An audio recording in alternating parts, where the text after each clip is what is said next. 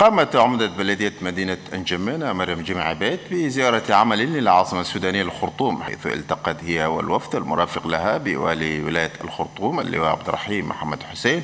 وقد تركز اللقاء حول تفعيل التوأمة بين أنجمينة والخرطوم في مجالات التدريب المهني وإصحاح البيئة والصحة وغيرها من المجالات. رماد جبرين أنجيني احتراما وتطبيقا للنظرة الثاقبة لمبادرات قادة الدولتين إدريس ديبيتنو والمشير عمر حسن أحمد البشير الرامية إلى توسيع دائرة علاقات التعاون والتبادل في كافة المجالات بين جمينة والخرطوم. وفي هذا الشأن وصلت أمدة بلدية جمينة مريم جمع عبادة إلى ولاية الخرطوم عاصمة جمهورية السودان.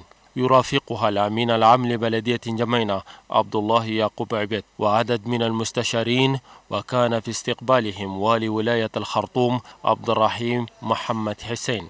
وكالعادة تنظم مثل هذه اللقاءات بعد ستة أشهر ولأهميته جرى الاجتماع بحضور سفير البلاد لدى جمهورية السودان صالح حامد وسفير السودان لدى البلاد عبد العزيز حسن صالح.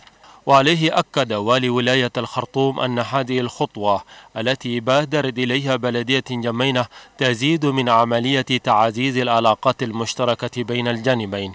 ننشئ علاقة حميمة بين العاصمتين جمينة والخرطوم ونحن بنقول لإخواننا بالجانبين إن شاء الله الناس يطرقوا كل مجالات التعاون التي يمكن أن تكون إذا كان في المجالات الصحية أو التعليمية أو الخدمية غيره التدريب الشرطة الأمن كل المجالات التي يمكن أن نساعد فيها بعضنا البعض نحن جاهزين إن شاء الله إنه نقدر يعني نسخر هذه ال ال الإمكانيات لبعضنا.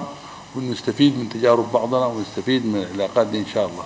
عمدة بلدية جمينة أكدت من جانبها أن جسر التواصل بين البلدين يحتاج إلى عالية لتفعيل بنود هذه الاتفاقيات المبرمة آنفا والتي تتعلق في شتى المناهي كالتدريبات المهنية والفنية. ووقعنا في تجدد عن البرنامج عن التوأمة. أشياء كثير بديناها وماشي كويس. جمينا طلبت أشياء كثير هنا مبادلة أفكار مع خرطوم وهسا جينا ندور نحقق الأشياء دي. فالحمد لله هسا الوالي هجا وقال في أي مجال هو يقدر يساعد. أنجمينا أشكروهم كثير للرؤساء الاثنين أنا السودان والتشاد وسهلوا لنا أمور كثير عشان نجلس مكان واحد ونبادلوا الأفكار. يدركون تماما مسؤولي ولاية الخرطوم وحرصا منهم لإفادة الوفد الزائر إلى الخرطوم لا يمكن أن ينهي عمله قبل أن يزور متحف السودان القومي للتعرف والتقرب من المقتنيات الأثرية النادرة ما قبل الميلاد.